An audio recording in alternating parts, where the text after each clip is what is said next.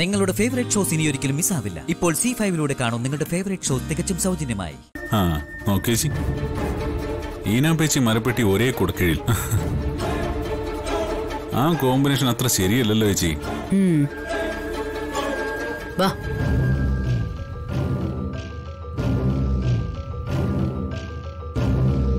എന്താ? രണ്ടുപേരും കൂടി ഇവിടെ നിൽക്കുന്നത്? ഞാൻ ജാസ്മിന്റെ ചില സംശയങ്ങൾക്ക് മറുപടി കൊടുക്കുകയായിരുന്നു. ഓ ചില സാരോപദേശങ്ങളും. ജാസ്മിനെ ഉപദേശിക്കാൻ മാത്രം നീ വളർന്നോ പാർവതി? അതെനിക്കൊരു പുതിയ അറിവാണല്ലോ. ഉപദേശം മാത്രമല്ല ആന്റി.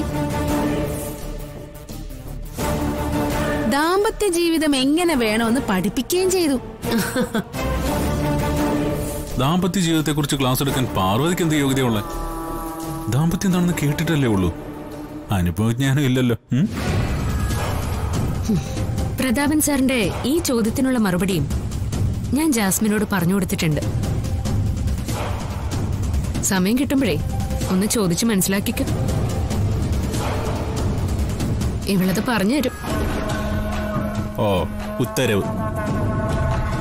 ആന്റി നമ്മൾ ഉദ്ദേശിച്ച പോലെ നല്ല കാര്യങ്ങൾ. ഉം.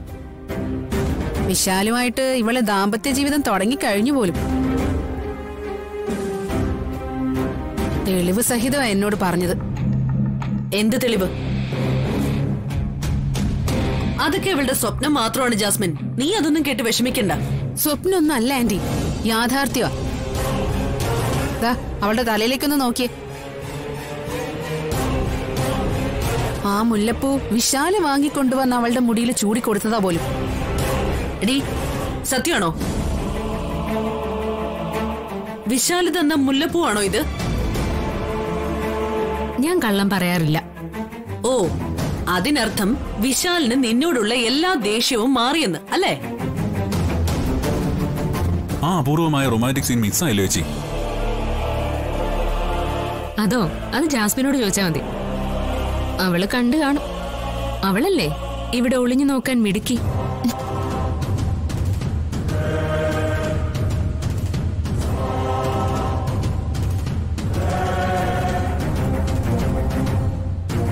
ആന്റി അവൾ പറഞ്ഞിട്ട് പോയത് കേട്ടില്ലേ? എന്തൊരു അഹങ്കാരം അവക്ക്. ജാസ്മിൻ നീ ടെൻഷൻ അടിക്കാതെ. അവളുടെ തലയിൽ ചൂടിയിരിക്കുന്ന മുല്ലപ്പൂ വാടാൻ അധിക നേരമൊന്നും വേണ്ട. വിശാൽ നിന്റെ മാത്രമാണ് ജാസ്മിൻ. അതൊരു പാർവതിക്കും തടയാൻ പറ്റില്ല. ഈ പ്രഭാവതിയാ പറയുന്നത്. പ്രഭാവതി വെറും വാക്ക് പറയാറില്ല.